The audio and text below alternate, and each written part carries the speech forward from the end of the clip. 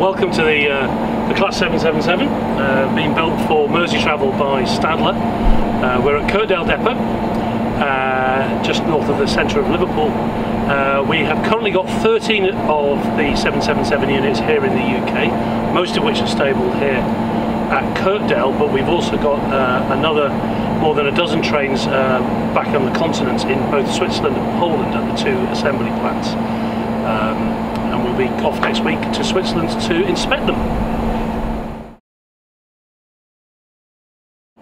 We've had uh, we've had a difficult year uh, with COVID. So this is a brand new design of train. Uh, arrived on our network uh, back in January of 2020, and we all know what happened shortly after that. So getting the testing done, I have to uh, pay, pay uh, testament to my colleagues from Stadler. it's a very international and diverse company uh, trying to get people uh, here to the UK to undertake the testing proved very challenging. It still is difficult uh, for us, but we're, we're just about at the end of uh, an exhaustive and sometimes exhausting type testing program, uh, ready to start our fault-free running process. After that, we'll be uh, we'll be accept we'll be looking to accept the units. they'll come into Merseytravel's ownership, and then later on we'll be, we'll be introducing them into passenger service. We've um, we got sent out to Switzerland that helped us build our network, and and the guys that we were working hand in hand with out in Switzerland, I've come across and I've been part and parcel of the test and commissioning team whilst we're over here.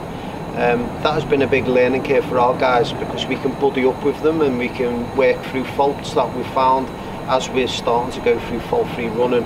And specifically the type testing before that where we were ironing out some of the network and integration issues with regards to the, the train and the infrastructure itself.